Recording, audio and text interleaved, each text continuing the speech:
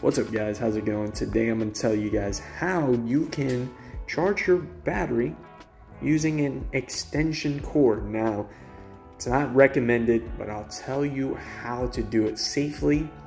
Uh, for the most part, it is safe, but I'll tell you a couple things. So typically, if you're using an extension cord, you want to check uh, how powerful this brick is. So for example, mine output wise is 58.8 volts and 4 amps. This comes out to be around uh, under 300 watts and most extension cords are rated higher than that. Now, a couple things, right? To preserve your battery, you're probably using it outdoor. You're probably trying to charge it outdoor, right? Just check the temperature. So for example, anything above 32 degrees, that's good. For example, right now I'm using this thermal gun and where my bike is, it's around 64 degrees. That's totally normal to charge and your battery is gonna heat up uh, as a result of it anyway, so you're probably fine.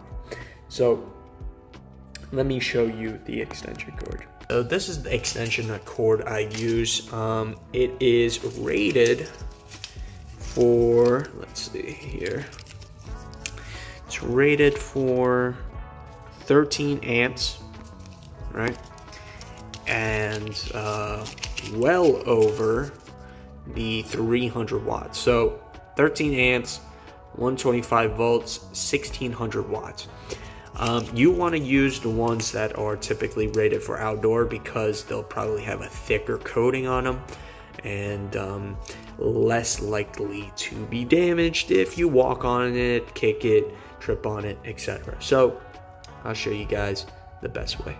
One thing you want to do is make sure that this is not wiggling, right? Do not, if it's wiggling in the outlet, you're not going to use it. And then we're going to make sure this is all straight, right? You do not want it kinked up, kind of like this, because what happens is um, there's going to be a buildup and there's going to be heat generated here. You want this extension cord uh, straightened out. So, you know, you want it to pretty much not have any loops and whatnot in it during use. Again, it's fine. You're well under the rated limit, but I mean, realistically, you shouldn't. It's just best practice, right? So I'm gonna go ahead and string this out and I'll be back. So one thing is actually, I typically unplug it here before I plug in to my bike here. So for example, everything's plugged in and then I'll just bring this cable up to my battery and you know, I mean, my battery uh, socket's on the other side of here, but you plug in this first and then you plug it in. Now, if your battery, for any reason, because you're doing it outside in your garage and it's way colder than 32 degrees, do not charge your battery because what happens is it's going to form crystals at those temperatures. And uh, like I said, um, this can damage your battery.